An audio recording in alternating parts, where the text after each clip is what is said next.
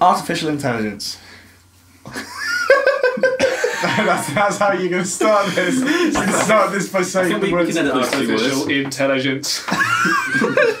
artificial intelligence. Go, Joe. Joe. Joe. No, you, Joe. Can you just be like, we're over to, Arth- over to our artificial intelligence, Joe Sanger. Go, Joe. I think it's a good thing. You're listening to Two Beers Until Phronesis, a philosophy podcast by students and graduates. Whether you've never heard of philosophy or have a philosophy PhD, we hope you enjoy these conversations as we discuss some of life's big questions over a few beers. Enjoy.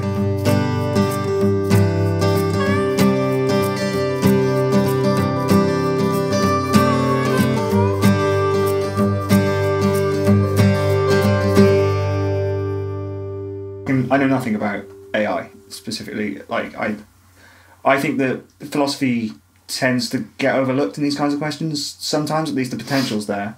So um, we can get we can get onto that kind of stuff. And uh, I want to kind of just host this and let you just unleash your fucking weaponized autism. so Weapons Yes, grade. sir. um, I'm going to basically just ask a bunch of questions. I my research was basically I looked at a couple of studies, uh, Stanford Encyclopedia and of philosophy, and then I looked at Wikipedia for a bit yesterday afternoon. So I know literally nothing. So I'm basically going to be an audience surrogate, and I'm just going to ask you guys a few questions and uh, keep bringing the conversation back to philosophy. Um, so my first question would be, so obviously there- there's um, I looked at there's like kind of three def- correct me if I'm wrong, but three definitions of AI. Kind of you got like the basic kind of AI, which is problem solving, logistical stuff. Then you've got the kind of AI that is programmed to sort of register emotions and communicate on a kind of moral level. And then from that, and we're, we're going to bracket this last thing and not discuss it, but like the whole idea of conscious AI.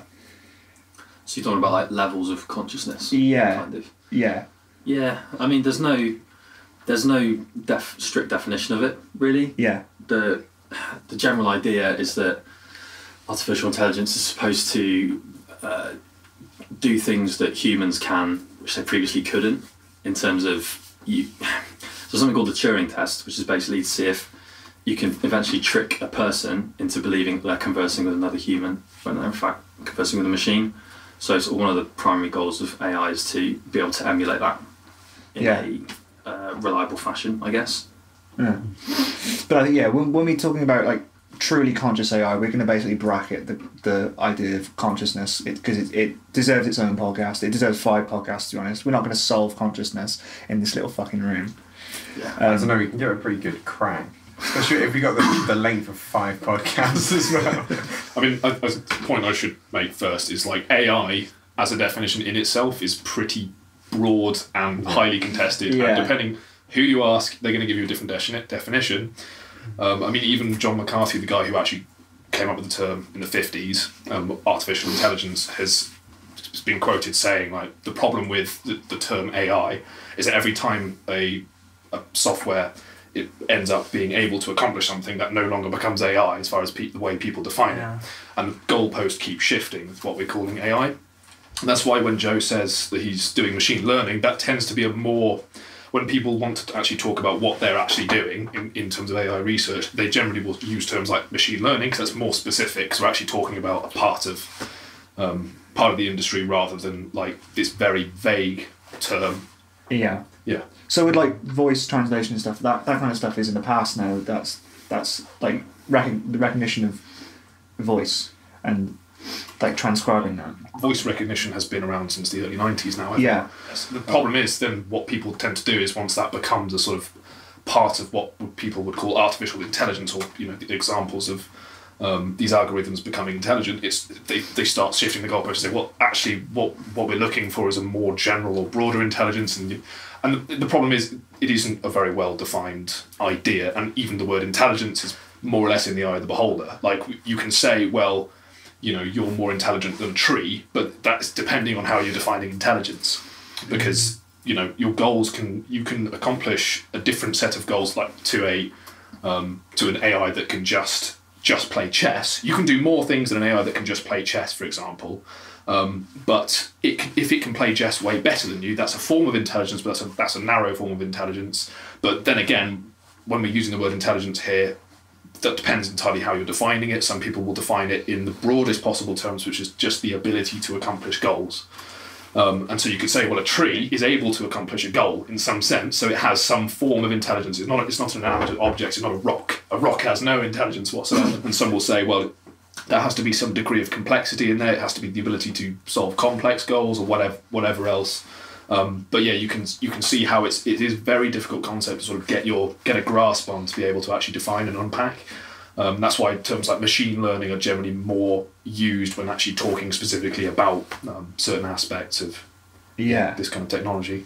Absolutely, because that, that, that effect that you mentioned, effectively, that with the AI effect, according to Tesler, is defined by AI that isn't AI that has already been created effectively.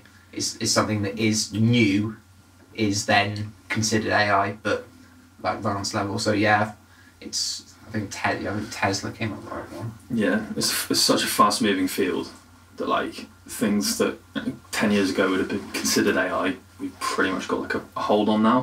Hmm. So like there was once upon a time, and it wasn't even that long ago really, where a computer would not be able to tell the difference between a dog and a cat, hmm. and then it could do that, and now it can tell the difference between a man and a woman. Yeah, Now you, can you can get um, and so on. get images described to you by AI now. Exactly, yeah. Yeah. So So, what what are the kind of things that we're trying to do with AI now? What are the what's the uh, what's on the table now? Well, I, I suppose to open up that line of talk, I, I guess some of the main applications, at well, some of the main buzz right now in AI is is machine learning in the sense of, and as Joe alluded to, he works with what's called supervised uh, machine learning. Broadly speaking, you have supervised, you have reinforcement learning, and you have unsupervised learning. Um, and all three of these have different applications depending on what you're trying to do. I think it was like the, uh, towards the end of 2016, we had a game like uh, Go, which is you know a, a Chinese board game that has so many sort of future permutations that people didn't think that a computer was going to be able to beat a human at it because of how quickly the um, decision trees propagate outwards exponentially. Um, but what ended up happening was they started using, um, at first I believe it was supervised a supervised learning system that employed things called neural networks, which we'll get into in a minute, I guess, because that's another thing to unpack. Yeah. Um, in, with supervised learning, it uses training data, so it uses data that's given to it, um, so it can gradually learn and get better. And this can be done either through backward propagation in a neural network, which we can talk about in a minute, or through genetic algorithms, but not really in this case, since that's a bit more expensive. And it was able, over a very short amount of time, to beat the world's best Go player.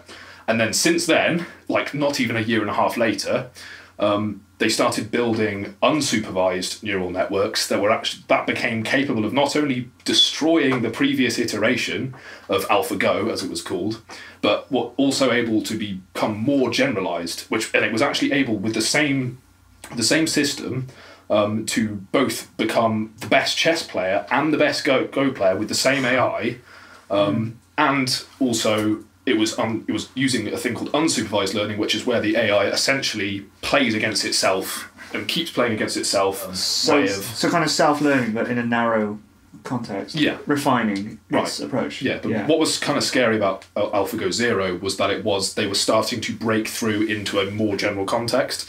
In a sense, it was no longer just an AI that was entirely just designed to Right. um, beat people at Go, but it was also the, the same AI could then start to learn um, how to beat people at chess as well, and you know it was a multi-purpose. Still AI. a pretty rule-driven, visible game, though, isn't it? It's still it's kind of similar. Yes, but it's, the, the point there's, is there's that a lot yeah. of things. Like, The yeah. translation across It's not two like mediums. back Yeah. into something else. Well, the important thing is the way in which it was doing it is fundamentally different to how an old chess engine would do it. Deep By Blue is a lot different. Yeah. Deep Blue, there's a lot of controversy about Deep Blue because um, a lot of people didn't deem it as artificial intelligence, and they basically realised when Kasparov played Deep Blue again, so he initially won in '96, but they played again in '97, and um, you know things were happening. Like, okay, the computer glitched, which actually kind of threw off Kasparov. He he misinterpreted it as advanced intelligence when it was just a bug in the programming system. But um, he wasn't happy, not because he lost in the rematch, but he thought there were three other grand chess masters that intervened between each of the six matches effectively. So there's kind of a lot of controversy around the old systems. But no, I didn't realise that um, there was this there this new infrastructure that could actually master Go and chess simultaneously, all through different systems. I should probably hand it off to Joe because you've done some studying in neural networks. Yeah, as I- yeah. So I'm using it in credit scoring. So typically, if somebody comes and applies for a credit product, say a credit card, what happens is we go to the bureau to get their information. So these would be things like how many payments you've missed recently, how many like, other credit cards you've got, whatever. There'll typically be like maybe eight to ten of these or more. Uh, these what we would call variables. So these all go into a neural network, and then effectively what it does is just measure all at once the interactions between them. So the first layer of a neural network, if you like, it's basically just a load of nodes, and it will take the variables and it will see any correlations between those variables. So, for example, the older you are, typically the, the longer you will have had accounts open. That makes sense. You can't have an account open for years and years and years, and if you're quite young, and it'll measure all that stuff, and then that would be an example of a linear model, which is what is typically uh, logistic regression, linear regression, those examples of linear models. Where a neural network really comes into its own is that you can then build in more and more of these layers. So then you can mash together secondary interactions. So you can mash together sort of interactions of interactions called multivariate interactions. It basically gets extremely complicated extremely quickly. Everything's all being smashed together, um, and at each at each node there's a mathematical function that will basically kind of scale that and give that a weight. Basically, at the end of the network, it will come out with a best guess prediction of what it is. So this is a supervised network, which means that we're giving it data that it knows, and it knows what it's trying to look for. In this case, are they going to default on a credit card or whatever? And it will give a weighted average between yes or no. And, And so then- at first, when you shove this network into the task of weighing this Yeah. thing, what's likely to happen is it's going to come out with a load of noisy crap that has nothing to do with the answer you want. But Yeah. you have the data, you, you're feeding it data where you know what the right answer to the data is. Yes. This is what supervised learning is. Yes. Um, and at first, it won't know what the hell's going on, but then, yeah, you change the weights of the certain parts of the neural network by doing back, backwards propagation and Yeah. So backwards propagation is is the is the learning part of the machine learning, I guess. Heavily quote marks on the learning bit, which I'll explain it without maths. Yeah. It's really difficult. It is very difficult, but yeah, the, the point is when it's fed training data, backwards propagation is where it goes back and it changes. There's a couple other things it changes. It's an oversimplification, but it, it changes the weights of how the neurons will interact with each other, sort of. So Yeah. it's more likely for some neurons to fire than others, and you keep feeding it back the data and it keeps adjusting it so that the test, the accurate test data is correlated with what you would expect if you were to feed it something that it wouldn't know the answer to and it would get closer and Yeah. closer. So I think the key point is that because it's supervised, you know the answer you're looking for, and you can measure the, the error effectively in what it gets. You can say, okay, you thought it was had a, they had a forty percent chance of defaulting, and they actually had a twenty percent chance. Let's try and reduce that error, and you go back through the network backwards, and you say, okay. We're at this node. Maybe you should have come from this node instead, and you go back like that on an on an aggregate level, obviously do some maths, readjust the weights, do it again. You reiterate that X times or however until Yeah. you get within your threshold. Um, the danger is if you did this forever to try and get a really, really refined answer, you'd be amazing on your data set. You would be able to predict every single account if they were going to default eventually, and you give it some new data and it will fail completely because it has been so overfitted to that particular population. It's niched too much into Yeah, its- exactly. yeah. So it will start looking for patterns that don't really exist in the actual world that it's Right. found in your particular training sample. Yeah. So basically, the problem with AI is the lack of general intelligence. It's it's it can be a problem. It's yeah, it is a problem inherent to AI and machine learning. It, it's it's present in all t- types of modeling, but particularly machine learning because of this iterative process. That effectively the learning aspect of it is you just refresh the parameters a lot, and you use the error Mm-hmm. Yeah. from because you know what you're looking for because it's supervised to refresh. I don't really. I'm not too familiar with uh, unsupervised Yeah, machine it's- learning. the cutting edge stuff at the moment is the reinforcement side, which is um, semi, sort of also called semi-supervised learning, and also unsupervised learning, which is these neural networks, which by the way are sort of modelled or at least originally theoretically modelled on the human brain. It was, um, I think the name Warren McCulloch and uh, Walter Pitts uh, back in the 40s were like who cognitive scientists who were thinking of ways that, that you could, in theory, have a machine do similar things to what the neurons of the brain are doing. And there were lots of sort of theories about how these could be implemented and whatever. And I think it was back, it was, I think, roughly in the mid 60s or probably a bit earlier actually, a guy called Frank Rosenblatt um, made this the first thing called a perceptron. So it's called, and this this thing was able to Sounds pretty. um, recognize. Basically, it was Sounds like, like an enemy on Doctor Who. yeah, yeah, exactly. It was like the very first neural network. Essentially, it was like the very sort of premature um, neural network, which was able to be fed pictures of of people, and it would output a boolean value that's just like a one or a zero, basically male or female. And it was and it would be trained with data with pictures that it would see of of this data. And this was Yeah. again supervised learning where. Um, it, it would be told whether it was right or wrong, and the values in the neural network would be adjusted um, to match what the actual case was until it could actually predict it properly. Um, fast forward, and I mean, throughout the 70s and 80s, a lot of this technology actually very much like dropped out of favor, and people were pretty didn't really think it was actually going to be a big thing. And I think a lot of funding kind of fizzled out. Yeah, I read that. I came across that. Um, yeah. yeah, and there was, it was what's called an AI winter. I think it was Marvin Minsky who Yeah. coined that term, um, AI winter during the seventies, where it sort of there was a lot of you know hype about AI, and AI was going to become this general intelligence, as it's called, and we'll get to how you define what a general intelligence is Yeah. um, in, in during the seventies, but it kind of it just didn't really. There was like a lot of expe- um, expectations that weren't met, and people kind of lost interest, and especially neural networks and things like this were kind of then cast aside and go, well, this is just not the future. And it wasn't really until you know the the two thousands and a bit later on when people were like started to have the processing power and whatnot to make these systems properly viable. Yeah, during the 90s, speech recognition, the classic example of um, being able to recognize handwritten text.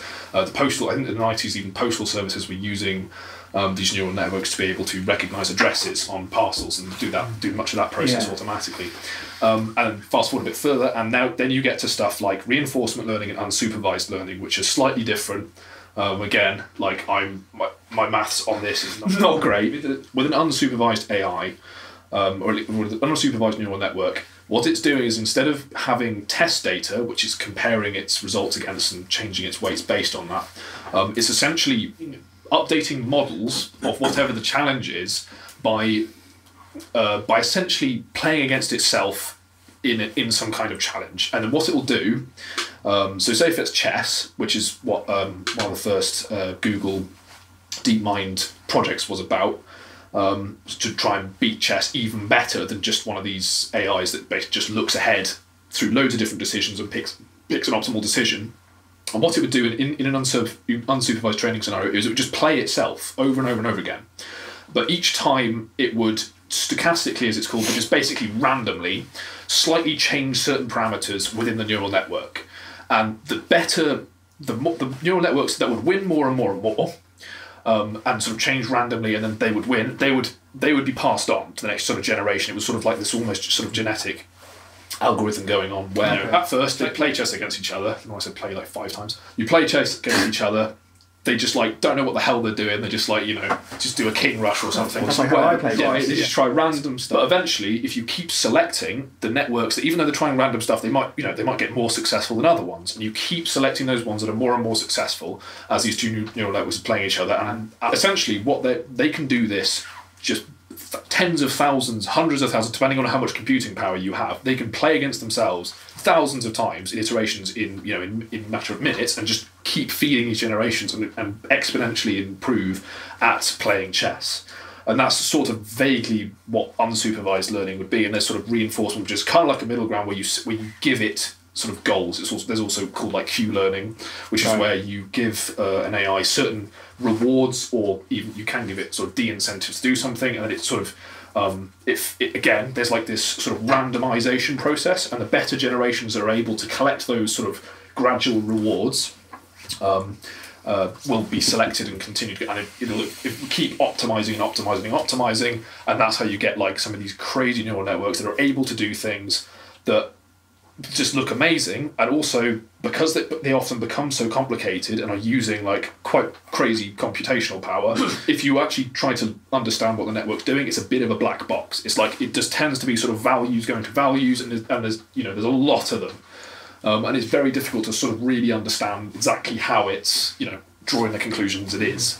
So this is a massive unsupervised, like industrial form of trial and error, effectively. Yeah, exactly. It's like an It's- exponential rate. The more patterns it learns, and It is glorified trial and error ultimately. well, sensible trial and error because you're readjusting the weights in a in a sensible way. Yeah. Yeah. But yeah, I think a good way to think about the difference between supervised and unsupervised is that supervised is unknown data with a known target, by which I mean so it's designed to just take in new data, but it knows what it's looking for.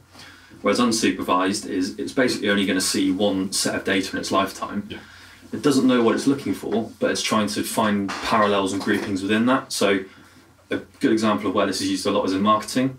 So with marketing and advertising, there are actually surprisingly little restrictions on what they can do in terms of reg- regulatory things. So they can just build models straight away and chuck them out there, and basically just let them see what they can find. So I'm sure you're all aware of targeted ads. Like when you Google something and it pops up in your ads two seconds later, would not be surprised at all if that's a result of neural networks that are being used to just basically track Yeah. your entire digital history. Well, uh, when you when you see those ca- captchas or whatever they're called, I can't remember how you pronounce them. The ones where you have to, to prove you're human. Bots. Captchas. yeah. But what's funny about it is have you have you noticed how a lot of them are to do with roads and driving and signs and things like yeah, they're getting day test data for AIs to be able to better understand things by having correct results from humans as test data to feed back into their neural networks. So it's like a lot That's of these cool. are actually ways Wait a of harvesting minute. data. And obviously Google with you know the self-driving cars and everything, Yeah, which I'm yeah. sure we'll get to. Like that's a big part of Yeah. probably how they harvest data for that. Um, Yeah. Well, it's, yeah, talking about self driving cars, I remember saying to you recently there's been a call, probably an exaggerated call, for philosophers to weigh in on basically had a program a self driving car. I don't been- think it's over. No. over. I think it's very important actually. Oh, okay. enough. Yeah. I The- thought, I thought I- it was exaggerated by philosophers. They were like, you know, the people in the crowd go, "What about the was it the, yeah. the track thing?" They're like, "What yeah, about that? the trolley problem. So you i- should hire you- some philosophers." Are you guys familiar with the trolley problem? yeah. yeah. Basically, yeah. Um, Zach, are you familiar with it? um, Just say you're not, because then I can explain it for, for the benefit of the audience. No, Connor, I'm not. Please explain. Uh, Please enlighten me. Tom. Jeremy Clarkson talks about it on Top Gear. But can you, uh, yeah, can you bring a refresher? Alright. Well, basically, um, Top gear. trolley, train, tram. It's heading towards uh, potentially two different uh, sets of people. So um, Oh, yeah. a A home, runaway train. yeah, a homeless person is caught in the tracks, and you can swerve it to him to save the five nuns or whatever, or the, the orphans or the fucking the, the puppies. So that's the that's the yeah that's the sound of a lever being turned. Unquestionably, yeah. It, it throws up an interesting idea. It's like so, is that's the the utilitarian answer to that, which is how most things are probably going to end up programmed. Because that's how most decisions end up being made on a sort of corporate level. Is you know one person is less of a sacrifice than Fuck. ten, or you know, and it's and a lot of people try and throw in questions like, well, maybe the homeless person has the cure to cancer. Now what? Now what do you do? A lot of people say, well, maybe by uh, sort of omitting action, you're not participating, so therefore it's it's not your sort of Kantian view. yeah, it, Yeah. it's- it- it is. But then you know, I, I, I actually believe that omission is. It's like you wouldn't walk past a a pond and see someone drowning and just go, well, if I don't act, it's not. You know, you know, you jump in. Natural selection is its finest. You just wouldn't do that just instinctively. Yeah. I don't know if you're drowning in a pond. It's like oh. Yeah, I know. It's Oh, I like- don't want to get wet. how, how, how cold is this day? This would be very unpragmatic. so Do you think basically, you might get a bit sick? Sixteen percent chance of success. And there's like one of the one of the more interesting ones. So obviously, most people would pull a lever in one way or another, Yeah. and most people would also agree that probably mm, choosing to not pull a lever isn't is in itself a moral decision. You don't get to just bypass the decision by not acting. Not acting is also a decision. Yeah, by walking away, you're acting. Um, but Um, yeah, weighing up like consequentialist uh, morality is, is basically where this is leading, and it's like, well, how the fuck do you program like a self-driving car? If if it's faced with two choices, what algorithm do you possibly give it, and, and what on what premise is it making those decisions? Basically, you have to invent morality. Well, so to, We have, we have to yeah. give it. You have to give machines morality. don't know, so you have to pass that on. You have to understand morality in a way you can. Yeah, and I- It doesn't, it doesn't have to have. so it It has to, has to it have an has ethical framework. I suppose is the better better way to put it. Yeah. Um, so um, to set this set this up so it's clear as a thought But then how, experiment. how can it have Um, an ethical framework that isn't utilitarian? We'll, we'll explain that. Mm, because, yeah. Because you don't necessarily have to. But so let's set up the thought, thought experiment first. So you have a self-driving car. You have to program this self-driving car to have an ethical system. Why? So you could have a situation where you're on the motorway, the self-driving car has to make a decision between. It's in a situation where it could have, it could swerve and kill someone. It could, it could swerve and kill someone on a bike. It could, it could swerve this way. It could kill like one person. It could kill an old person. It could save you. It could, it could cause, it could do kill the least number of people, but there's, it's in a situation where it has to do some kind of maneuver in which, whatever the outcome, there's going to be something that is there's going to be an undesirable out- outcome no matter what happens. And he has to choose um, which undesirable. And you have to figure wants. out, and the problem that has to be figured out is is what ethical system do you program it with? Like, I mean, thinking about having cars where they talk to each other. So it's like Right. there'd be five cars in a row, and all five, Convoys, all, yeah. or, or it's like all like not even that. Let's say let's say there's like a street of cars. Yeah, they stop in and, and, you, concert. and you have like 15 cars. All 15 cars will be receiving the data from the car in front. So the car goes, oh shit, we need to stop, and then they go stop, stop, stop, stop, stop, stop. So Right, by, no, by having yeah. them connected, you actually get around that problem. Right, but you, So- you so don't get around the problem You can well, you, you because do- there's going to be situations you where do there's know going to have it to be stops- problems. It stops, I think it's it more to- stops like the problems of you like swerving or like Yeah. stopping and then another car not stopping and you smash. Right. It's like pileups. Like the worst accidents are pileups on the motorway. Yes, Yeah. So, so like so think- something like that just almost gets alleviated by having like cars communicate Right, with But each there's, other. there's two assumptions there. There's one that this is already we're in a situation where all cars are self-driving. Two, Yeah, the other problem yeah, is probably. you're assuming that there's there's nothing random could possibly happen. It's the would cause principle, Any I ethical. think. It's, it's the principle. I'm not. I'm not, Problem. saying, Yeah. I'm not saying like it's like, case it, it's so, so it's like yeah. How do you? there, there would be there would be like it wouldn't it like a car accident wouldn't look the same as it looks now. yeah. It, obviously, that's like so. It's like there's obviously factors that we won't know that we couldn't factor Right. in. It's, It's- it's how you yeah. create the choice, which is like right. Because this is the problem. Because like most people who buy a car would want a car that actually is programmed with an ethical system that basically says save the driver Save at all me, costs. yeah. Yeah. Even if it's a. But this is the problem. Is like, but is that really the right way to do it because of you know all the ethical considerations? I want to buy a car that layers. kills me. Yeah, who's going to Yeah. buy a suicide car? What's the no, one's, no one's going to buy a fucking suicide car, are they? This car is programmed to, in the in the right situations, end your Yeah. fucking life. That's that's that's part of the that's part of the new driverless car model. No, there, there, there is there, there's another conundrum which I think probably could be resolved. I still don't see many people looking into the problem you, you would face on, say, a mini roundabout. This isn't like a moral perspective; it's more kind of a pragmatic sense. Three three points on the mini roundabout. Each has to give way to the right, respectively. Yeah. Do the cars just disintegrate, panic, and blow up, or do they all, in synchronization, move around respectively at the same Well, the- time? the- the- or is one system imagine- more advanced than the other system on the other side, and therefore there's kind of like Yeah, you complete- wouldn't, you wouldn't yeah. want like the fucking Vauxhall Vauxhall self driving thing, because like imagine if they just like like they looked at like Tesla for the self driving, and then they, Vauxhall went, yeah, we'll do that, but you know it's a bit expensive. Yeah, we'll, we'll chop we'll off get- that, we'll chop off and then like, oh, we'll just program a little suicide mode in there. Do you I mean? Just like all these. All I these don't. I don't think the shareholders will look into that. Well, no, no, no, but it's like it's like they do it with cars. Like there's a certain there's a certain amount of cars that just break down or like have like massive faults before they like do a recall. Was, like, was it Vauxhall that did the carbon emissions test? No, that was, uh, was it Volkswagen. Volkswagen. Yeah. So, so what if they just straight up either the system isn't as good or they just lie and then just pump it out there? Well, yes, there's, that's another that's another consideration. Is, is are all these AI frameworks going to have to be programmed with the same ethical framework to be able to actually function Yeah, in the most ethical possible? Probably. They're- they're like you're going to have to probably though, start programming everything in the, the same, or you're going to have even Oh, the no, worst this Is possible. like, this is like some. Yeah, fucking yeah. class Um, system where you get the Mercedes yeah. that kills everyone apart from you, but you and your pro car. Oh, I.e. a just Mercedes driver then. yeah, literally. No, but literally, that's that's the way I was thinking when you're thinking like, oh, hmm. the, the homeless people are nuns. I imagine there will be people who will have like, it's a bit dystopian, but they'll have like higher credentials and you have like a little tag on them that feeds into the AI. So it says, oh, don't kill this person. This China. person's- This person's a doctor. yeah, literally.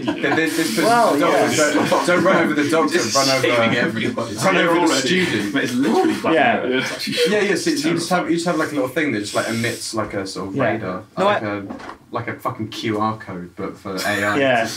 Well, I, this I, person's ten worth points, whereas this guy's got hundred worth points. yeah, I, I, I don't, I don't think that like culturally we understand ethics very well anyway. And I think mm-hmm. most generally we just tend to think in a very basic utilitarian sense of what is the best outcome.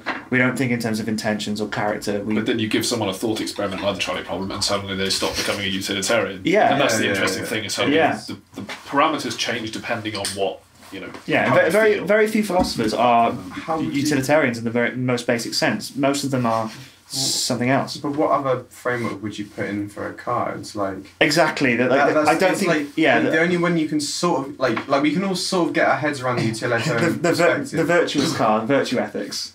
It's like you can't really. The, the Well, complexity of ethics can't It's be like, communicated well, into. pro- program a car to be the best possible car. It's like yeah, it's just- these, these are existential ideas that don't I- communicate I- does that say machines. be a I- good I- car. I Yeah. also it's just like also we might just get rid of cars, might just all become like some sort of big public transport thing. Jetpacks. What a So train. I want to come back to your point actually, just where you just said program isn't car to be the best car.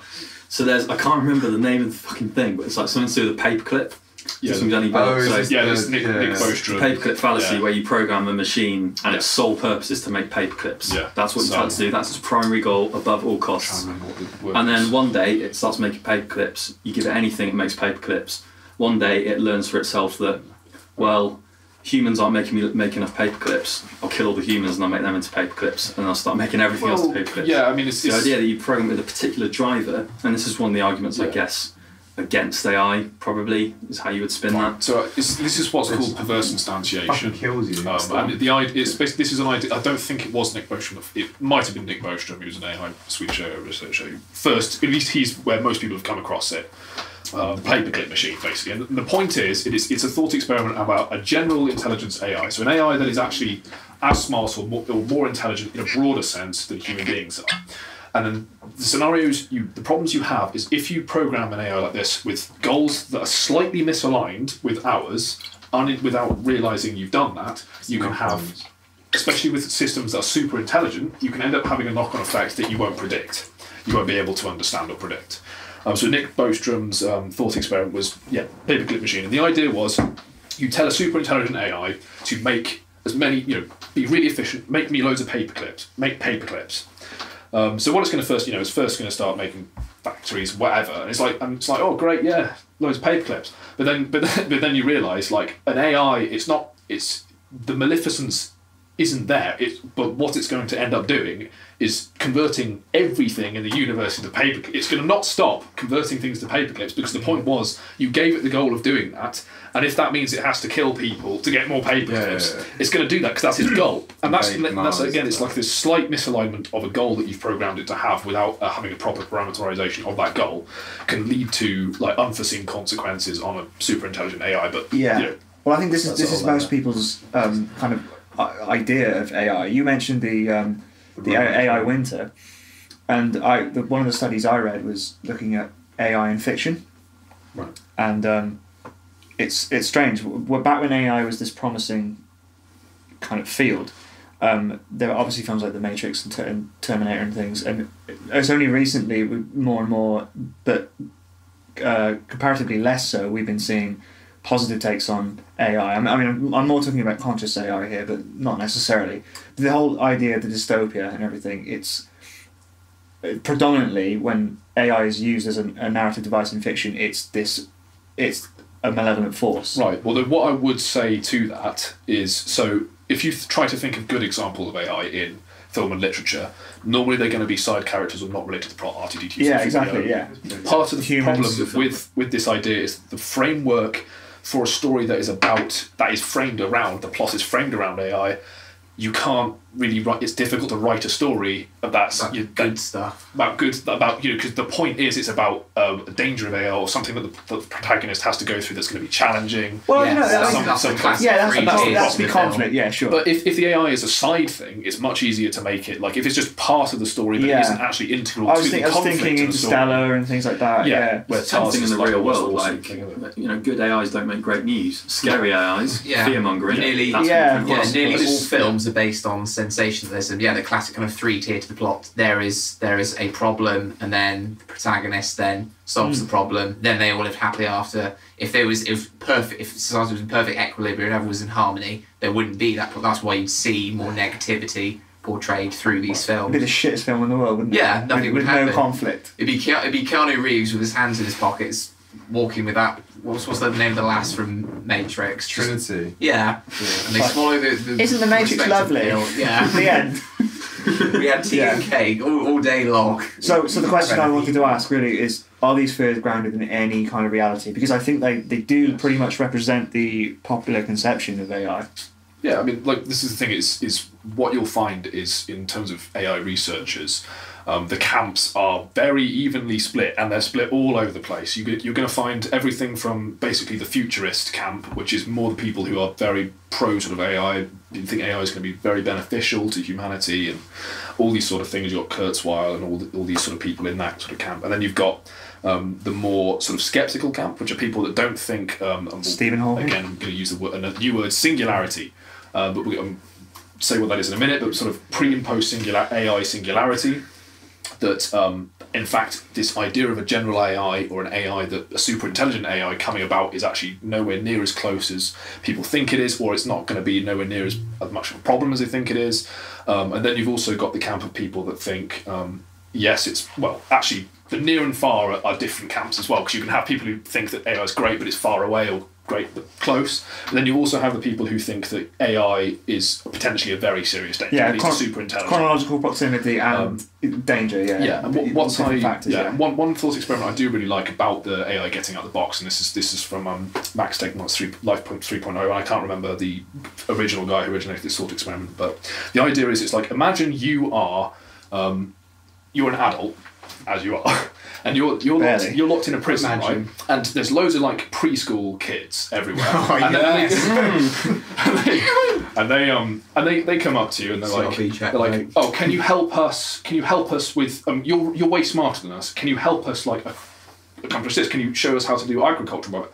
and it's like you, you know these kids are like kind of can you describe to us how to like and you're like I can't describe it to you I, I need to get out to describe how to make yeah. you know it's like well if I just got out of this prison then I could show you how to do these things and th- it's like and the point is it's like we're we could potentially be like the preschool kids and we could ask it we could think that this intelligent AI is like um, you know, accidentally incentivize it to get out of the box because it's going to be looking at us like, what?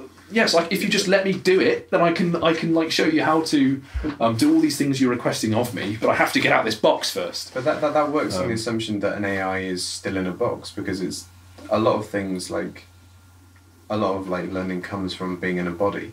So there's a sensible way to Oh, sorry, I should, I should Yeah, yeah, yeah. specify the term in the So- box is is so, what so generally it'd people be, say it, when it would be it'd be like, like like shackling, like limitations on. Yeah. Well, Yes, yeah, so so, it's- it's so- a, so it lot of doesn't learning, a lot of learning would be to be able to interact with objects. That would, that would enable like a, a huge amount of learning potential. So it's like that's Yeah. got to be a way that they. I did- I did wanna come back Well, to it's, that it's, later it's with less the- literal. yeah. It's like when, Yeah, when yeah. people say in the box, they mean just like so it doesn't go onto the internet, it doesn't it doesn't spread around autonomously. Yeah, yeah. You keep it on a system that's offline in an isolated area, and then you just re- you receive information from it. But like, like many people say, is like if you have an AI that is so much smarter than a human being in every single conceivable way, if it's in a box, if it's disconnected from everything, if it's isolated, it doesn't matter. It's going to figure out a way to get out by manipulating the people because it's so much smarter than those people. Yeah, yeah, yeah. It's going to be able to manipulate absolutely every aspect of how you think and how you think, and it's going to get. And it's like this is the point: is um, if you if you think about these sort of experiences, like there's always going to be ways you're going to be able to deceive those preschoolers to get out of that prison because they're stupid, and you're going to be able to convince them. And this is what it would would potentially be like for super. And like you know, there's obviously there's um, critics of these point of view and these sort of experiments and everything, and you know the camps are very well split. But that's that's the point. Is like there are a lot, there's a lot of buzz and a lot of people um, at the moment who are you know have a lot of discussion about these potential dangers. But yes, it is is broadly speaking, a lot of people fall on very in very different opinions about what could potentially happen, what might happen. Will you know? Will we even hit a singularity?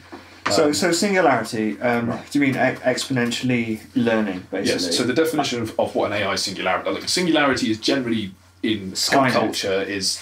Um, Skynet coming is, online. yeah, is, is a phenomena where it's, the rate of advancement becomes so fast that it's impossible to predict what would happen to humanity post singularity. The point is, it's about the impossibility of being able to predict what something like an exponential intelligence growth would cause Yeah. after a singularity. Here is that I think that, AI that often gets confused with consciousness, which I think is something different. I think, Somehow, I think some people think singularity is man and machine coming together as well because that sounds more fucking. that right. sounds more fucking Sounds a Terminator. bit doesn't naughty to me. Yeah, so I yeah, I had I had a few um, ideas relating to that actually. Have you ever heard of transhumanism? Uh, Yeah. Have I? I've, Um, I've yeah, mentioning yeah. it a bit earlier with Kurzweil. But- Yeah, yeah, I know you did. That's why. That's Yeah, why I flagged it. Anyway, I think I think it's to an extent it's like Kurzweil's fucking mental. He's just like I want to create my dad out, of a, out of a machine. He's Well, yeah, killing so- I, I, I think I think I think us becoming cyborgs is like not far. away. Yeah, well, it's it's that's really it's not just, far this away. whole cyborg stuff is really popular in fiction and things like Ghost in the Shell and stuff. But also, there's this whole other side of transhumanism, which is literally just uploading your fucking consciousness, however that's supposed to be done. But we don't know what In- consciousness exactly. is or where it comes Into- from. There's so, there's so, it's like that. That gap is not 45 years like people think. Yeah, but it's basically 45 well, yeah. So I came across it in uh, like a humanist meeting that I was I was Yeah. running, and this guy. It's always old sort of people who are afraid of dying and Yeah, quite rich. Been on Wikipedia. And uh, when I was uh, when I was at university, like transhumanist ideas would circulate a lot, and um, we we we learned a lot. We did a little bit of research into it, and you'd find that some of these old rich people that are afraid of dying would pay a lot of money to Bezos. basically chuck um, sort of propaganda kids books at schools and be like, "Are you afraid of dying? Do you want your mummy to die?" Well, And Robinson. what you've got to do is pressure your parents and tell them you're worried about dying and dying yourself and them dying and and basically convince them to fund our project, give us some monies, and then nobody will ever die. And it, like really Oh, shady that- that- shit. That's, that's the universe I want to live in. The Yeah. universe where But- fucking there's, there's just no one dies ever. So I have I have a philosophical pragmatic problem with that, which is what the fuck would consciousness look like if it was if you were a brain in a vat, like you were saying. You, Yeah, yeah, yeah. Part of Bosman's brain. Right? yeah, part of what it is is to be interactive with the reality around you. I, I think it's like Dan Harmon, who's not a, he's not a fucking AI dude, but he was talking about how like we're gonna have such advanced interaction with computers that you're gonna be able to be, you're gonna be able to feel the sensations of knowing what it's like to be a squid to fuck a cow, and then and then you go out of and then you go back That's to the, reality. that's the future. and, and, then, and then you go out and then you go That's and then you go back to reality and then go. "Ah, I guess I'll get on with what I was doing before. It's Yeah, gonna, like- Like, like the and, and he, second advert for this podcast. Yeah, Squid exactly. fucking cow. Yeah, we should put that as a little Well, teaser. It's the main limiting factor of the rate of advancement of AI. I think it was I think it was the Austrian scientist Moravec. I think it was his um, paradox. that Effectively, all these different like parameters that an AI system could set to try and extrapolate all these results for data. It has no more flexibility than the mind of a one-year-old child and adaptability. And we just I think we're just far off. so you can just Those do for one For the moment, thing, maybe, like, yeah. like, yeah. Yeah. Like, I like, like, we're a lot like you're saying off. about the Go thing, it's like you can play Go and you can kind of play chess. Yeah, that's like, that's a push towards what's yeah what's called a more general or broader intelligence, or what's also called a strong AI, uh, as opposed to a weak AI, which is a very narrow task-based AI Yeah. um, that is capable of more general, more general problem solving. But um, yeah, there are like multiple um, thought experiments that sort of go against. I know John Searle is, is one person who's talked a lot about the idea that you. It, it doesn't make sense to talk about uploading your consciousness, trying to digitize your consciousness, because he had, he had this thought experiment called the Chinese Room, which is a fairly famous one, which is based on um, how if you can imagine that you're like in a room with a book that had like every response to um, every thing, every input. So you're fed Chinese through a hole in the wall. Do you Like mean Chinese phrase. food? So chi- sorry, Chinese phrases in, in Yeah. Chinese I language, with and and you you have to look at this phrase. You have to go through the book, try to find where the phrase is, and then you and you see what phrase you're supposed to respond with. So you write, you copy down from the book, and then you put it back through the wall. And he says that's essentially what an AI is doing. There's no interaction with the outside wall. It's just checking back to a data log, and there's no process based on. And yeah, there's obviously you know this is a thoughts experiment, and it is a sort of uh, where you start to go into the philosophy of consciousness and that sort of thing, based on um, can uh, in you know, AI and can you um, create a digitized version of consciousness. And yeah, it's, it's like you said right at the start. It's like it, we understand so little about consciousness, Yes. really, that it doesn't. At the moment, it's this idea that you could upload your consciousness, even if it was an actual, you know, identical version of you that was actually uploaded. Who knows that you you just died and there's now a philosophical zombie, as it's called now, as that AI. It's partially my you know. critique of like the idea of ghosts as well. It's like, well, what the fuck is a ghost? How can how can you be a corporeal, disembodied version of yourself? Like that doesn't make any sense. well, not corporeal, the opposite What, of corporeal. what would happen? Something Incorporeal, just, something sorry. just popped into my head. Is like, what would happen if AI then decided to set about creating their own philosophy? So they decided to create their own system of like morality and rules. Uh, Good and like bad aren't but- going to compute. Like it won't even be able Yeah, to distinguish that- between a that's- malevolent and It a won't- kind it's, act. it's It would not have that to it be will. It just, utilitarian. it's not that it will or can't or can. It's that it. It's like it's not going to think in at, in yeah, any it- way it- in a it's, human way. it's at the whole Yeah, yeah. Wittgenstein. if a Um, lion could talk, we yeah. could never understand it because its frames of reference would be so far removed from a human. Exactly. Yeah. And so it doesn't make sense to talk about like the values of a of an AI or a Yeah, machine. Because values doesn't- don't compute. Yeah, I, don't, I don't think we'd be able to relate to them in the same way. Like ultimately, ultimately, we created programming languages and logic, and at the very fundamental assembly language level, there's no It's, such thing as good and bad. Like the way we understand it, they would it would. Mm. If anything like that would ever happen, I think it would be it would still be fundamentally based on just logical commands. But they, I say they as in whatever whatever kind of computers evolved from that would eventually develop their own sense of morality, but we would have just no alignment with it. It would be like it would be like there's some there's some analogy like to do with the Fermi paradox where it's like why hasn't intelligent life contacted us yet because they literally don't relate they don't see us as intelligent they don't see us as even worth Yeah, I believe it's called the forest. Um, the forest arc, Potentially. dark, dark forest but it's like we don't well, Yeah. most people don't sort of sit down and try and talk to insects and things and Yeah. try and establish contact because they're just on an intellectual level so different from our own that I think if AI were to invent their own kind of moral code, for want of a better phrase, I don't even. Yeah. like, it Wouldn't literally wouldn't. It wouldn't even be the Right. same. Because we try to think us. about them in terms of how we would think about Exactly. them. Yeah. A We're on human a being completely super different intelligent, fundamental and level. it doesn't make sense to talk about them in any sort of anthropomorphized Yeah, 'cause What? that's, that's all come from social interaction, is it? So there's Yeah. no understanding that they would have any social interaction. What's the um? There's like that one about it being like a sort of benevolent zookeeper or whatever. Right, yeah, the zoo, there's There's yeah, so there's one. multiple different AI scenarios, let's say. So post singularity scenarios, you there's like loads of different um, thought experiments about what you could end up have, and this is the point where it gets it gets very very speculative. But yes, there's there's um, I think is that in relation to the Fermi paradox, or is that in relation purely to an A super intelligent AI? I think, I think two it's, different. I think it's similar to what you were saying about the children when it's just like Yeah. because you've gone for the beneficent zookeeper like the AI would go, oh bless these children, I'm going to help them, Yes. and that's an assumption that we're making that it would do that anyway. Yeah. And I think that's what they were saying was like that they would have a, a level of AI that would basically be so. In, I think it was um not Kurzweil but the, the other geezer who's similar to him.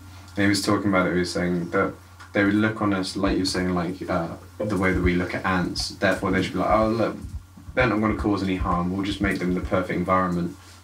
And then that was one of the sort of things they were Right, sort of yeah, the zookeeper argument. Yeah, yeah, yeah. hypothesis. Yeah, because there's also, funny enough, we just mentioned the Fermi paradox. Those, there's also a parallel with the Fermi paradox of this zookeeper argument, where it's like we just they just we just like some zoo animals that are just being left alone. Um, and that's one one answer. But you know, there's obviously like that's a whole other discussion. I don't we were talking about transhumanism. We were talking about uh, objections to it. So one of them was obviously, well, how the fuck can you tr- translate consciousness into something else? My other objection to it is the same objection I have with religion, which is ethical, um, and that is basically, I think it devalues uh, the human experience. I think it devalues human worth. Uh, now that's a What AI, Very- AI would.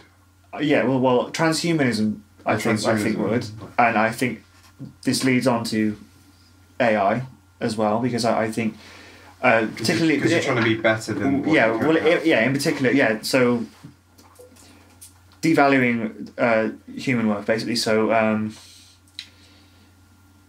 in terms of in terms of AI, there's this big question of automation, of the automation of uh, the economy. Yeah. That's more of an economic argument, but I also think so. My objection with religion is basically it demonizes, literally demonizes, um, a lot of aspects of humanity, a lot of uh, emotion, like the emotional side of things, and different. You know. So what? I mean, what do you, what do you think of the idea of playing God? Basically, is another.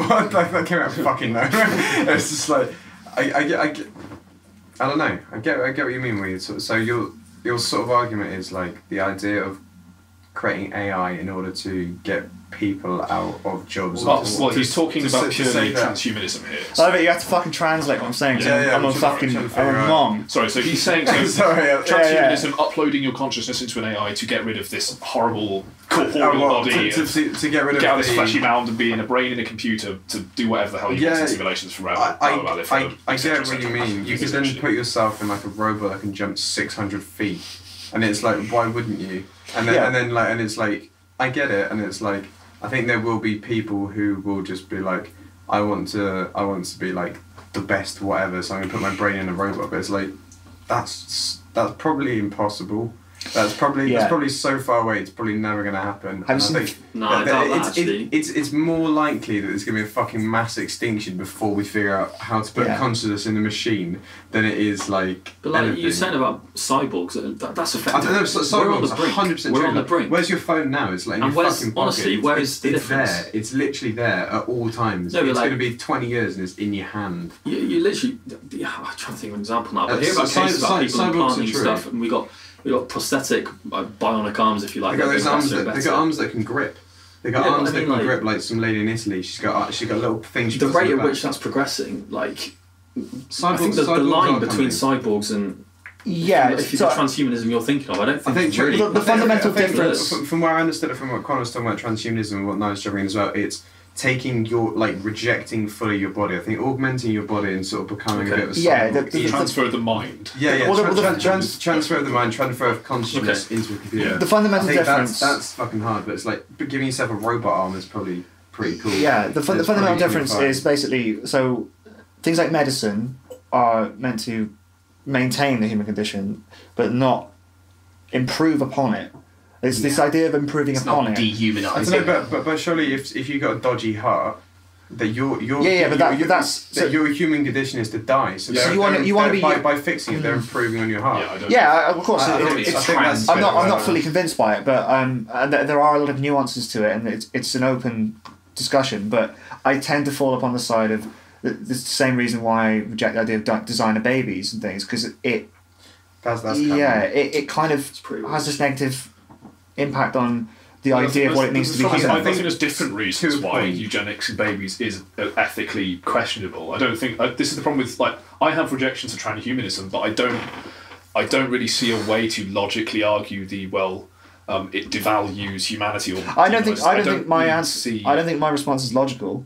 It's emotional. I'm not saying it's- I'm not saying it's illogical, You're- yeah, you're- I'm- I'm saying it's you're categorically sort of different. saying that there is. uh, We should celebrate the fact that being human is what we are as an animal, and, you, and we Yeah, should we, move we away should affirm on it. And it, what, should- what you consider to be human is subjective. and But do you pure- think we should also and stuff like embrace our defects? Yeah, Evolution, up to a that. point, has eliminated those defects over a long time scale, admittedly, and we're basically at a stage where medicine has. we have everything Yeah. we want. Medicine- A hundred yeah. years ago, we didn't have antibiotics. Like, p- if, you, if you got like an STD or if you got, you know, polio, you're, you're fucked. That's it. 150 to 200 years ago, you were lucky if you were the one Yeah. in six children that actually made it past about 18 So I, I do kind of refute, dispute the fact that like, Yeah. you know, I'm I'm kind of for like generally good enhancements. Yeah. I don't. I think like, you know, yeah, Yeah, you so should it- embrace what it is to be human, but I think you should yeah. you should not Enhancements clubbily, be- s- uh, clubbily if we stubbornly embrace- cling to. Yeah, yeah, no, of course, yeah. I'm I'm not. I'm not advocating being regressive. Um, and I'm not. I'm not against enhancements. But what I am. I How think are you drawing the line between like medicine or getting an, an Well, I'm not- artificial heart to survive? to yeah, I'm not. I'm not longer? drawing a line. What I'm. What I'm Yeah, saying it's is, difficult to it's an out. open. It's an open conversation. It's very. It's a very subjective thing. Are you saying at what point do you stop being human?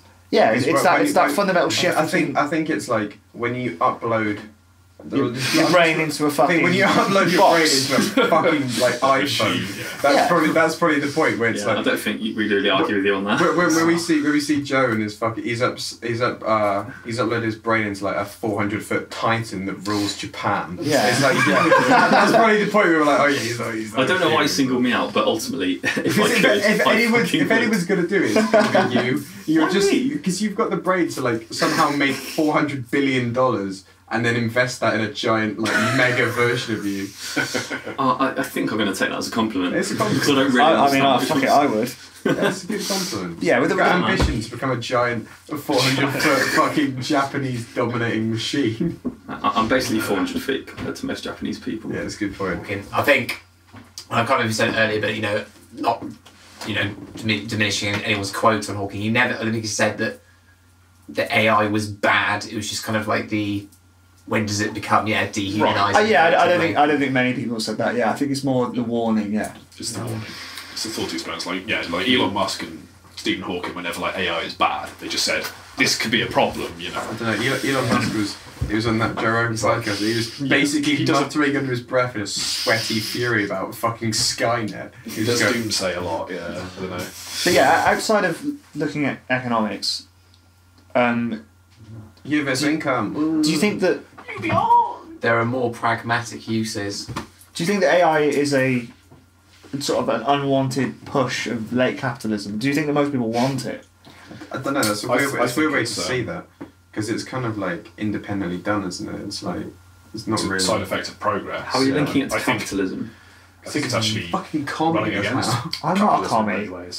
Many ways. I said How's late. it, I how's said it anything to do with that? No, I said I said late capitalism. Well, businesses are employing it in order to refine their pr- approaches, but I think most people Okay. are pretty skeptical about it. No, it, I, th- I think they're skeptical about it because the, the term itself is a misnomer. Yeah, so is machine yeah. learning. It, it, It's it a gives the buzzword, isn't it it? gives the yeah it's, it's, a it's buzzword. just a buzzword. it gives the Exactly. impression Yeah, yeah. No, I agree. our phone of, uses of AI unbridled, technology. unregulated anarchy. So, like, for example, literally, like in because I'm sort of working with it at Nationwide, and you, you talk to some quite senior older people about it, and they're just like, "Well, no, we don't want that; it's too risky." And it's like, well, no, you're just you're just out of touch ultimately, and like you, you, You, need don't, to you better don't want understand. something that you're afraid of change. Basically, you don't like Yeah. the change because you don't want to.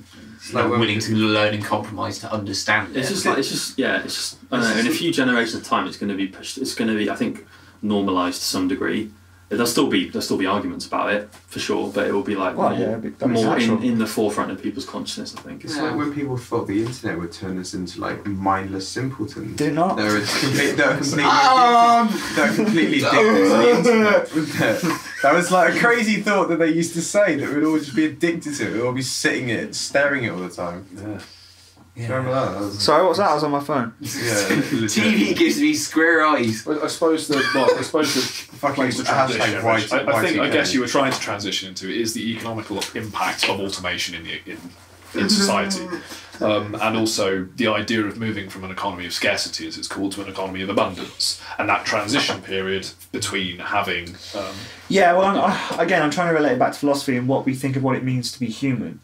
And I think when you have more automation, that, for better or worse, does change in terms of our working lives and how we view the working man or woman. I I think it depends. It depends because it's like I, I think if you give people actually too much freedom, if you just go, yeah, cool, Yes. robots have got it all, it's like that actually takes away from a lot of people. People then, it's, you, you start to see these people that actually have no structures. It's like, Oh, it's like yeah. use, isn't it? It'd be like Mm. if there was like the ultimate AI hunter gatherer or whatever. Suddenly it'd be like So you mean yeah? So if, if all of our uh, basic needs were met by machines, what would we do with our lives, would, basically? would be like that's beneficent Yeah. zookeeper. Now I- we're, we're just like machine slaves. We're just like the children sort of bumbling around in a sort of like angry world.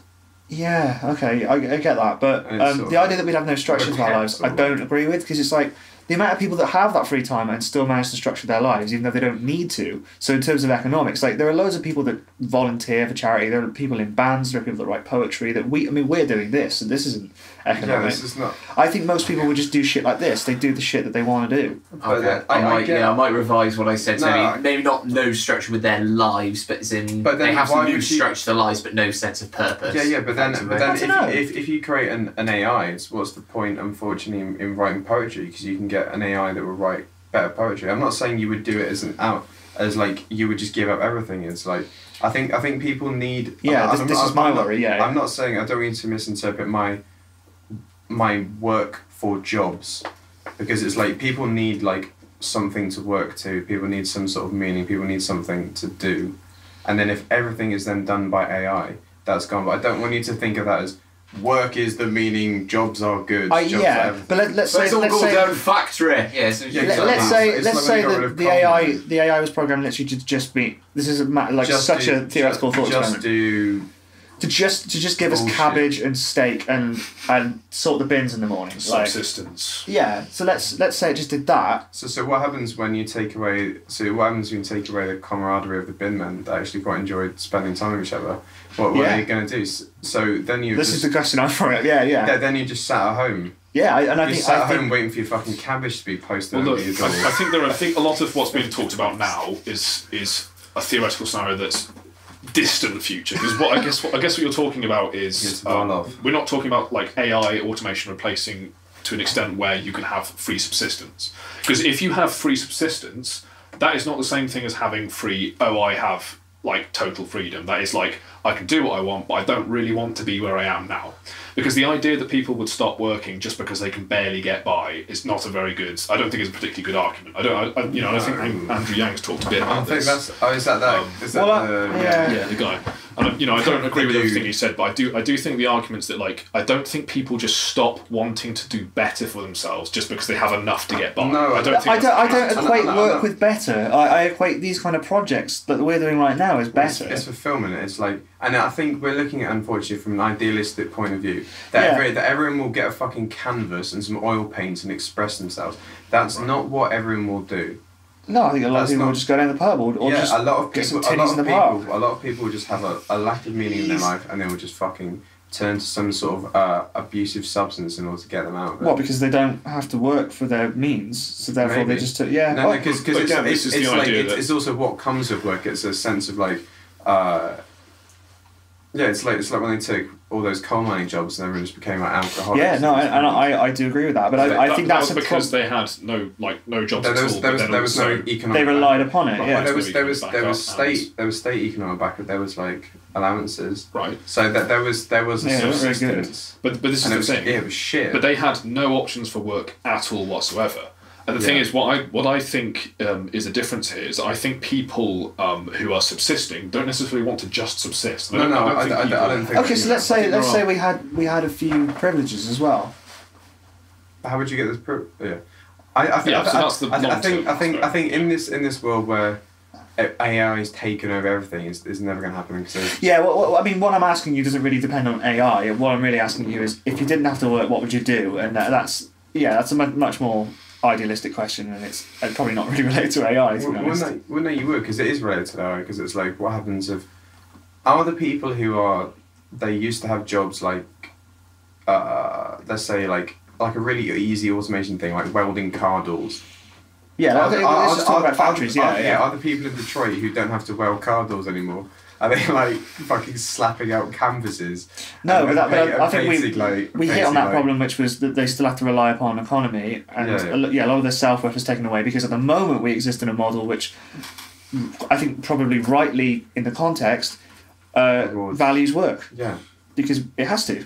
I think you need to narrow down your like your timelines on this because there's different answers for different periods of Yeah, time. Exactly. yeah. This is the problem. So I'm At the getting. moment, like Yeah. for example, it, it's a good example in making cars. A lot of that process, I, I'm not really too familiar with that industry, but a lot of it is automated already. Yeah. And it, in the fairly near future, I'm sure that'll be close to 100%.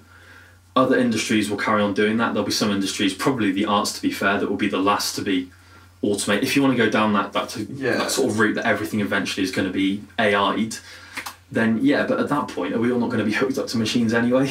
But it's also Like, it's it's, also the- kind of difficult to really tell that far in the future. The jobs that are getting cut are the ones that people do because they need money.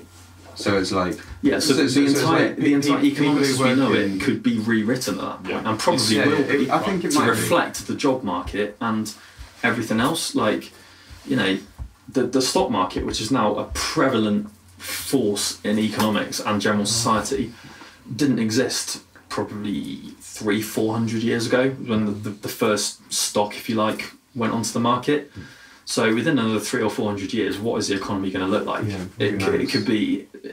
It's really hard to say. And I think it's, Can it's completely important to distinguish when you're talking about automation and automation in society and say like an AGI or post singularity society, which could is probably totally yeah, yeah, hundred percent That'll be Uh, different. like you're talking about the zookeeper scenario, that is a totally different Yeah. thought experiment to say just having enough automation that, that again, economy of abundance rather than econ- economy of scarcity. Yeah. but, but we said, Um, yeah. Well, when I, when I yeah when I had this, um, I threw this idea up in the flat I was living in in university, and when you're you're you're on about um, pre-singularity AI, obviously you'd have to have people supervising and regulating that. And we this guy was a Marxist, and he was like, the people that are in charge of the machines would end up ultimately having the power.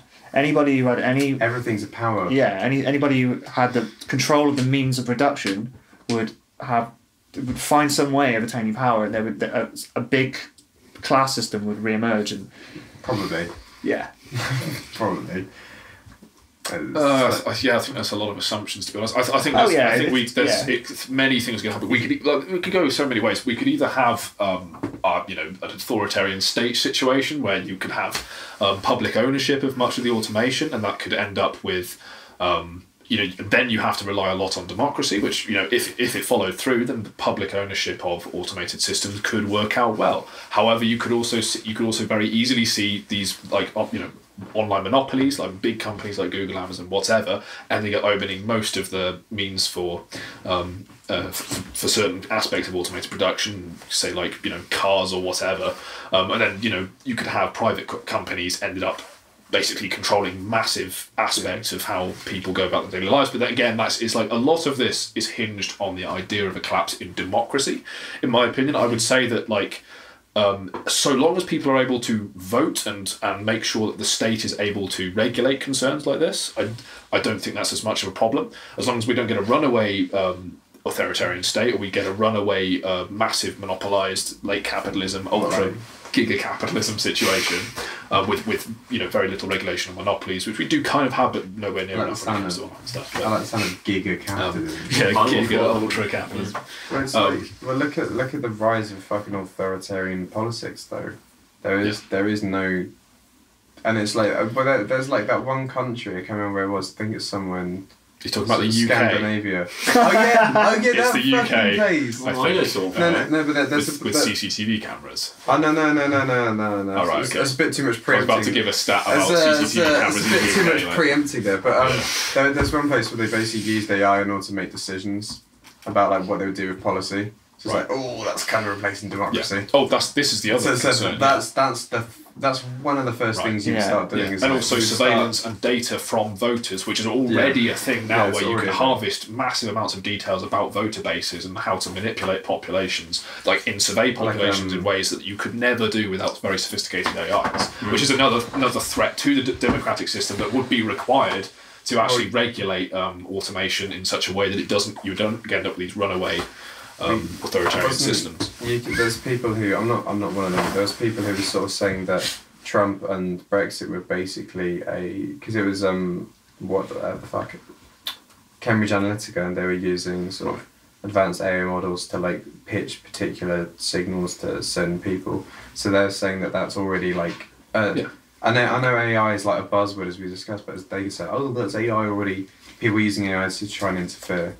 So it's like Yeah, it's more like possibility. data is exponentially growing. Like I can't remember the stats, so I'm not going to try and say it, but it's something like in the last X years, there's been like like y like y percent of the total data of all time has been generated, Oh, and yeah. it's a pretty scary Oh, so- statistic. and you get statistics like the like the last few years of photographs were like twice as much of all photographs that were Yeah. taken like, yeah in history before thing and we're stuff getting, like that. Yeah. we're getting, especially more recently, like data originally, I say originally, you know, within the last few decades or so, was effectively just numbers and stuff. Now we're getting to the digital age where we've got videos, we've got satellites and things. We've got we've got AIs that can now view satellite images of car parks. Yeah. They can see how many cars are coming in, and they can use that to generate, you know, uh, data about how Yeah. popular a business is. we don't know what the military has like- either. So yeah, so Oh, yeah, that's- yeah. fuck knows what level they're on. That's that's So, something they always you know, say. Is like we're in ridiculous times already. thirty ahead. years behind. They always say like, oh yeah, we're about thirty years behind. Yeah, although I, although I would say VR AI goggles? research is, is quite far ahead currently in private sectors compared to military sectors, which is an interesting thing. So we actually we're actually much further ahead with say neural networks Have you seen the um, um, Google than we are. Have you seen those VR goggles that were designed in 1970?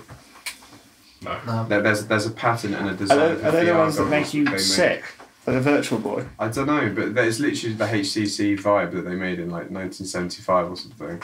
It's like, oh cool, that's fucking mental. Do you know most people's reaction to the water wheel when it came out. What's When it, that? when it came out.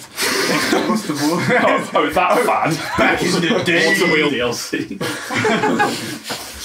No, no, no. Sandy man. Do you, reckon, do you reckon there was people sat around having like the equivalent of this podcast, but just in the pub about the water wheel, just going fucking mental? I don't like it. I don't know how it works. No, uh, the water wheel's gonna turn everything. Well, it was- I used to have to crank that What- lever I did to make the bread. It's just my job, it has. What, what Look. happened to that guy who used to crank the lever? He's down the pub getting. Well, I'm just imagining- his life's got Yeah. no meaning. He used to be. He used to be a man who provided people with water and energy. And now he goes down to the river to punch it in revenge. I just, I just, re- I just remember the water wheel. And they, just- and they just use, the, they use the power of the current he generates instead. Just harness up to his It's wrist. funny, but you can kind of draw an analogy between what we were Oh, just yeah. talking about. Oh, Yeah. Absolutely. No, That was the exactly. Industrial Revolution. I mean, that's why I brought it up. that's, that's, that's what we did. Right. Yeah. There are entire professions that are just completely extinct now. Well, that, that's, what, that's what old Johnny McDonnell says that we're on, we're on the verge of the third industrial revolution. Yeah, yeah. I'm a fucking Marxist. and make me be chancellor. Yeah. But yeah, No, the- like, in terms of um, meteorology in pragmatic sense today, um, I think it is Google as well that have um, effectively their, their wind turbines today can now analyse and scan the weather at least 36 hours in No, advance. With, no, uh, I, can, I'm, I'm, convi- can. I'm, no, I'm High degree of convinced that meteorology is just guesswork. It is Pseudo it- it science. guesswork. It's pseudoscience. Meteorology, the actual stats behind it is effectively, yeah, the, it's really hard Some, to. It's some really heavy hard, breathing there. You're what, what time frame? meteorology. But what, what time frame did I just say though? 36 hours. I didn't say a month. I didn't Still say bollocks. a year. It's No. not bollocks. It's 36 with hours. meteorology, it's just that's Like if you look at a picture of weather patterns, you can't you can't say okay, this is going to happen because of this. You basically compare it with a billion other weather patterns. It's, it's happened in the probabilistic, past, yeah, and it's yeah. And you, you use that kind of extrapolation to determine what's going to you happen. can, you can infer There's stuff no like oh, real- this this p- area of low pressure has has been moving in a northeasterly mm. direction, so you can project it probably be hit. Like it's, you know, and again, all of this is just like Bayesian statistics. It's all just like, well, this might happen at this Yeah. probability, whatever. Yeah, no, that doesn't surprise me. Like thirty six hours for you know, a, it's not going to be like yeah, this with hundred percent accuracy yeah, ever. absolutely. Because, legit, because the system is so chaotic and so difficult, um, and like you know, very small phenomena can cause in- incredibly large differences to the system. Uh, but yes, uh, yeah, meteorology. I can imagine like just using data models on it, but you're going to get a more and more accurate, or at least a more and more reliable picture of what could potentially be happening. Yeah, and it's not just created it, you know, progress for progress sake. Already, it's achieved, you know, kind of twenty percent higher efficiency ratings, uh, you know, from that renewable energy source. So yeah, it does work. It does work based on okay, yeah, not exact science, but just based on, you know, statistical chances of that weather Yeah. system moving in. Like Does that power the robot labs? Yes, They built yes, it those fucking Boston Dynamic robots. They're gonna kill all of us. yeah, that's what I'm most worried about. Those, those, those little like one foot fucking robots. They've got like seven hundred pounds of like force, and it's like yeah, that's just gonna. when, when you can make a robot do a backflip, you know it's time to just wind it down a bit because fuck Did you, did you see the one that was like the E A T E R, where it runs on human biomass? Nah, And it, bro. it relates Require to more biomass. it breaks the Geneva Convention. It just like it just when it runs out of energy, it just fucking consumes bodies and then just keeps going forever. And it's like cool. Do we think that like any elements of AI or anything is sort of going too far? As in like not ethically, but Not at the moment. How, how else how else would it go too far if not ethically? Just like what the idea of apotheosis, the idea of playing God. No, I, I don't That- believe. that's- I don't believe in God. I think it's a kind of very sensible kind of thing to me. You know, it's it's it's helping us with our everyday lives, making things you know less expensive, more efficient. You know, tasks are easy to carry out. It's improving our life expectancy rates, reducing our medical bills, but it's not it's not effectively you know taking Yeah. such a rate that we It's a very can't conscious control. way of looking at it. Yeah. I think ethics aside, it dep- really does depend on its context. It's what industry it's applied in. For example, with marketing, there's actually there's very little restrictions on what you can do. You're basically allowed to market to pre- pretty much whoever you want, however you want. Like there's a little thing at the bottom of every email that says you can unsubscribe. That's fair. You can basically bombard people with shit, and like if you pick up some sales, that's fine. Are there With things regulations on? Because I know there's regulations on TV for stuff, as- well, in general, but also for Mm. stuff like advertising to children. I don't, is there anything like that online? Do you know of, or, or is, there, is there in terms of advertising Uh, to children? I think, as far as I'm aware, online's a pretty much a free Yeah. game. Just a wild west out there. I, th- I think, I think ultimately, as an internet Yeah. user, you're responsible for where you go. Pretty much. Um, but yeah, with things, f- um, I guess the one thing I can say from an economic perspective, you know, um, is that if you're using these things in uh, sort of financial models, there is a shit ton of regulation you have to get around, particularly with machine learning where it's a new field and it's, I think the term used is black boxed, which is where you just Yeah, you cannot can't understand what it's doing. you can't see system. into the complete inner. You can, you can validate it, but you can't see exactly what's going on. Yeah, or at least you can't understand from a bird's eye point of view exactly how it's you know Yeah, so there, there's a ton of considerations.